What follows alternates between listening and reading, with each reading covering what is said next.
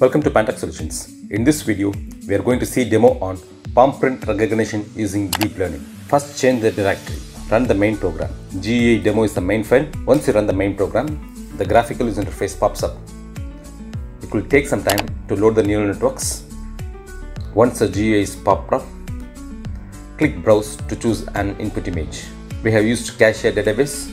We have trained the palm print from class 1 to 5 and 7 to 15 was not trained. So I'm going to choose an input image and click classify.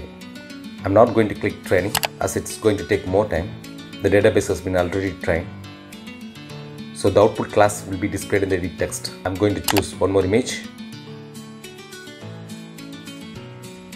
Now I'm going to choose an image for non-matched condition. The database has both left and right hands.